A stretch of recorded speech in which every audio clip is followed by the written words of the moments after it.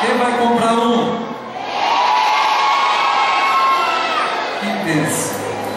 A Bíblia diz assim: Eu te louvarei, Senhor, de todo o meu coração, na presença dos deuses, a ti cantarei louvores. Salmo de número 138.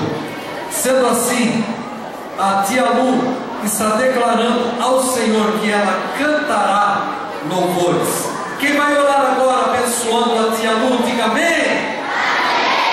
Todas as crianças e toda a igreja em pé para nós estarmos consagrando o CD da tia Lu.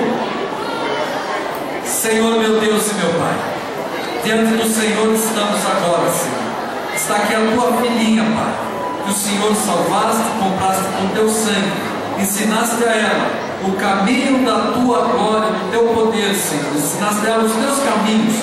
E ela gravou esse CD, Senhor, para adorar ao Senhor. Ela já tem as suas confirmações. E neste momento a igreja de Cristo está consagrando, através desta oração, abençoando o Senhor esse trabalho, que seja para honra, glória, louvor do teu nome, e que sirva, meu Deus, para modificar vidas, para restaurar vidas, para abençoar crianças. Em nome de Jesus, eu também abençoo a tua filha, a irmã Lu, Senhor. Pai, em nome de Jesus nós oramos e te pedimos.